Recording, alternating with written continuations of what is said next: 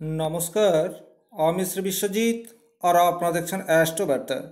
অ্যাস্ট্রোবার্তায় আজ আমার আলোচনার বিষয় বিবাহ বিচ্ছেদ বা ডাইভোর্স যোগ। হস্তরেখা বিচারের মাধ্যমে কীভাবে আপনার বিবাহিত জীবনকে বোঝা যায় বা বিবাহিত জীবনের পরিষ্কার বিবাহিত বিচ্ছেদের সংকেত করতলে কোথায় এবং কীভাবে থাকে মূলত এই বিষয়টি আমি এই ভিডিওটিতে পরিষ্কার তুলে ধরার চেষ্টা করব। আপনি যদি আমার এই ভিডিওটি দেখতে শুরু করেছেন এবং আপনার যদি ডিভোর্স হয়ে থাকে বা বিবাহ বিচ্ছেদ হয়ে থাকে, তাহলে আমার বলা কথাগুলির অর্থাৎ সাত থেকে আটটি এইরূপ সংকেত রয়েছে, যে সংকেতগুলি হাতে থাকলে আপনি পুরুষ হন অথবা মহিলা হন, আপনার কিন্তু বিবাহ বিচ্ছেদ হওয়ার সমূহ সম্ভাবনা দেখা দেবে। তাহলে সেই সাত থেকে আটটি সংকেত আমি এক এক করে ড্র করে দেখাবো। ভিডিওটি শুরু থেকে শেষ পর্যন্ত অবশ্যই দেখবেন এবং যদি আপনার হাতে এই সাত থেকে আটটি সংকেতের মধ্যে কোনো একটা বা দুটো সংকেত থেকে থাকে, সেক্ষেত্রে অবশ্যই কোনো জ্যোতিষীর সাথে পরামর্শ করবেন। সঠিক গ্রহ প্রতিকার করলে এই জায়গা থেকে বেরিয়ে আসা সম্ভব হয়। অর্থাৎ দাম্পত্য জীবনে যে প্রবল অশান্তি শুরু হয়, তার আগেই কিন্তু সেটাকে মেরামত করা প্রয়োজন।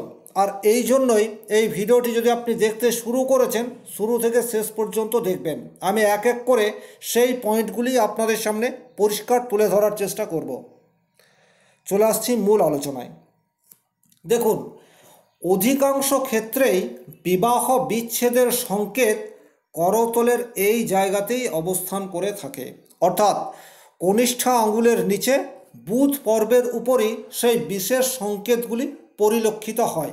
নাম্বার ওয়ান, যদি আপনার হাতে এই জায়গায় কোনো বিবাহ রেখা না থাকে, এই ধরনের, এই রেখাগুলিকে প্রণয় রেখা বা বিবাহ রেখা বলে, আপনার হাতে যদি এই জায়গাটায় কোনো রেখা না থাকে লেফট হ্যান্ড এবং রাইট হ্যান্ড অর্থাৎ দুটো হাতকে মিলিয়েই দেখবেন আপনি পুরুষ হন অথবা মহিলা হন। সেক্ষেত্রেও কিন্তু বিবাহ হতে পারে এবং বিবাহ হলে বিবাহ বিচ্ছেদের সম্ভাবনা প্রবলভাবে ইন্ডিকেট করছে। নাম্বার টু যদি আপনার হাতে বিবাহ রেখা ঘুরে গিয়ে এইভাবে চলে যায়, অর্থাৎ এটি কনিষ্ঠা অঙ্গুলির দিকে এইভাবে চলে যায় সেক্ষেত্রেও কিন্তু বিবাহ বিচ্ছেদ ইন্ডিকেট করে থাকে। তাহলে এই বিষয়টিকেও কিন্তু আপনাকে খুব ভালোভাবে পর্যবেক্ষণ করে দেখতে হবে। হতে পারে আপনার হাতে এই ধরনের দুটো বা তিনটে রেখা রয়েছে, কিন্তু তার মধ্যে থেকে যেটি গভীর এবং স্পষ্ট একটি রেখা, সেটি বেঁকে কনিষ্ঠ আঙ্গুলের দিকে চলে যাচ্ছে। এটিও ইন্ডিকেট করে বিবাহ বিচ্ছেদ বা ডাইভোর্স নাম্বার থ্রি যদি আপনার বিবাহ রেখাটি ঘুরে এইভাবে এসে হৃদয় রেখাকে স্পর্শ করে, হতে পারে আপনার এখানে দুটো বা তিনটে বা চারটে যাই রেখা থাক না কেন, এর মধ্যে থেকে যদি একটি গভীর রেখা আপনার এসে ঠিক এইভাবে হৃদয় রেখার সাথে মিলিত হয়, তাহলেও কিন্তু ইন্ডিকেট করে বিবাহ বিচ্ছেদ। আপনারা ডান হাত এবং বাম হাত দুটি হাতকেই মিলিয়ে দেখবেন। নাম্বার ফোর যদি আপনার হাতে বিবাহ রেখা দ্বিখণ্ডিত হয়, অর্থাৎ এই ধরনের হয়, একটি রেখা আপনাকে ভালোভাবে বুঝতে হবে, কিন্তু মাঝে এই ধরনের গ্যাপ সৃষ্টি হয়ে আছে। সেক্ষেত্রেও কিন্তু বিবাহ বিচ্ছেদ হতে পারে, তবে এই জায়গায় আপনাদেরকে একটা বিষয়কে মাথায় রাখতে হবে, আপনি পুরুষ অথবা মহিলা, যেই হন না কেন, চার নম্বর পয়েন্টের জন্য খুব ভালোভাবে বৃহস্পতির পজিশনকে আপনারা লক্ষ্য করবেন।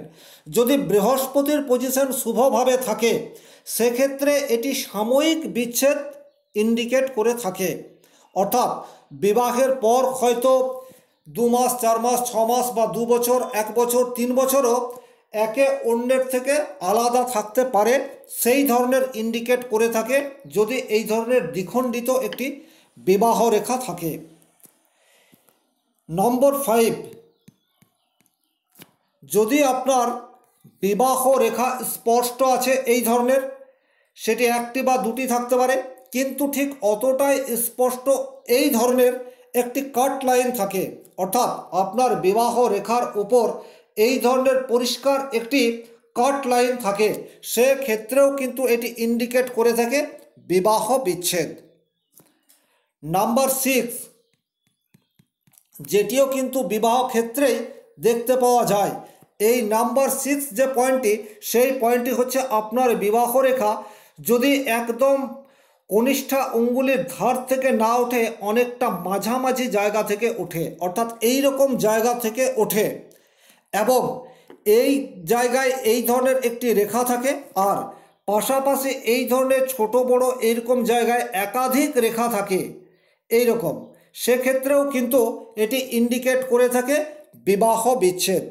তাহলে আপনার বুধ পর্বের উপর বিবাহ রেখার সামনে যদি এই ধরনের কোনো সংকেত থেকে থাকে, তাহলে কিন্তু আপনার জীবনের কোনো না কোনো সময়ে বিবাহ বিচ্ছেদ হতে পারে আপনার সতর্কতা অবলম্বনের প্রয়োজন। এর বাইরে যে সংকেতগুলি থাকে, সেই সংকেতগুলি অনেক ক্ষেত্রে শুক্রের ক্ষেত্রে থাকে, অনেক ক্ষেত্রে ভাগ্য রেখার উপর থাকে। তাহলে সেই সংকেতগুলিও আমি এক এক করে ড্র করে দেখাবো। নম্বর সাত। যদি আপনার ঠিক বিবাহ রেখা এই জায়গাতে রয়েছে,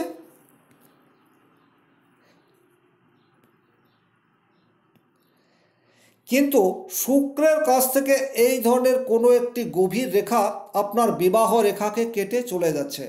তাহলেও কিন্তু আপনার বিবাহ বিচ্ছেদ হওয়াকে ইন্ডিকেট করছে। এই বিষয়টিকেও আপনাকে মাথায় রাখতে হবে। এবারে নম্বর আট।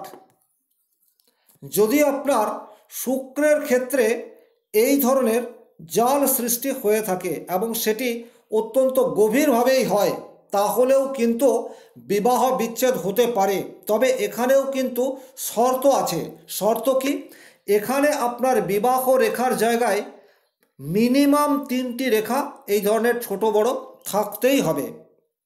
তাহলে যদি আপনার শুক্রের ক্ষেত্রে জাল চিহ্ন থাকে, তাহলেই যে বিবাহ বিচ্ছেদ হবে এমনটা নয়।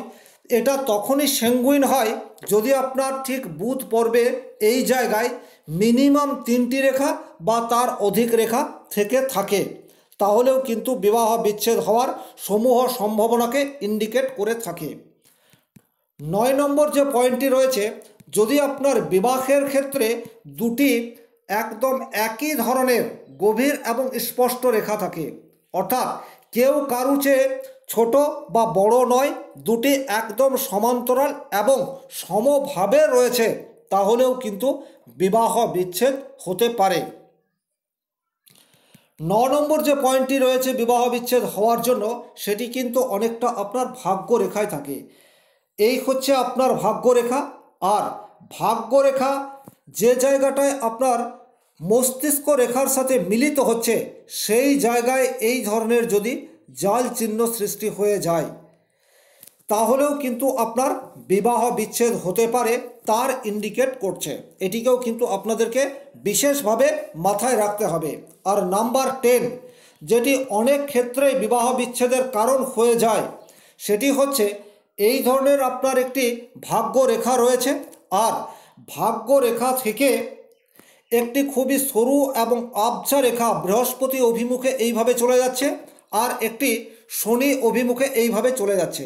তো এখানে মনে রাখতে হবে, শনি অভিমুখে যে রেখাটি চলে যাচ্ছে, এই রেখাটি একটু স্পষ্ট হবে আর বৃহস্পতি পর্বের দিকে যে রেখাটি চলে যাচ্ছে, এই রেখাটি একটু অস্পষ্ট হবে।